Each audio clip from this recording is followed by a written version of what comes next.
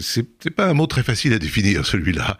Euh, j'ai toujours pensé que ça renvoyait à l'intériorité. La beauté était d'abord intérieure, et puis son expression extérieure, euh, évidemment, pouvait frapper, mais c'est d'abord à l'intérieur que ça se trouvait, et l'extérieur n'est que le reflet euh, de la beauté intérieure. un de mes amis me disait que l'élégance, ça se voit à poil, c'est-à-dire quand il n'y a rien. la beauté, c'est un peu la même chose. on la trouve un peu partout.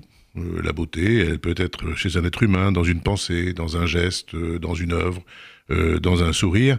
Et en même temps, elle est, par essence fugitive. Il est très difficile de la saisir, de la garder, de la conserver. Jean Cocteau parlait de la poésie en disant que la poésie était absolument essentielle, nul ne savait à quoi. Et moi je dirais que, contrairement à la laideur, la beauté est absolument indispensable à notre existence mais nul ne saurait la définir, et pas moi plus qu'un autre.